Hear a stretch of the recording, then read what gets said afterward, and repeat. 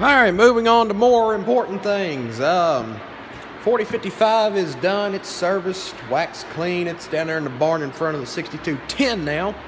So that's two down. Um, let's see, my uncle did get a whole box. Or he got a box of for a filter, air filter up here.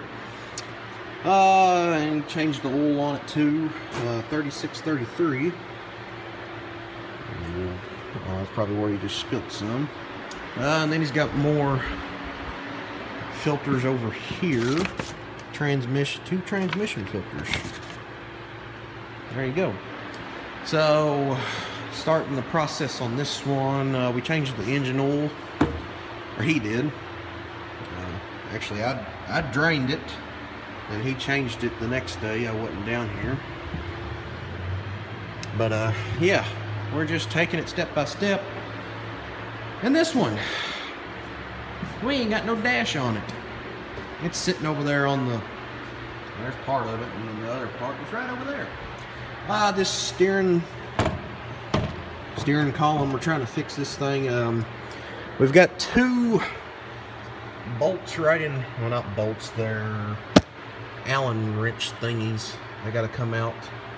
And he needed a metric, metric one, so he had to run over and get one. Um, also, this is having a fuel leak problem right here. Fuel starting to leak there, but you see where all that dirt is.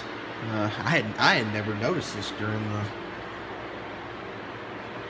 during the summer or anything, so that's something. Fix that, and we're hoping it's not this thing right here.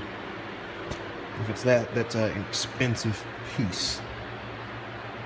So yeah, uh, we're just rolling right along. Uh, I forgot my GoPro, so no filming tonight, sorry. But yeah, a lot of electronics, and this thing is nasty too. So, alright, we'll get to going here.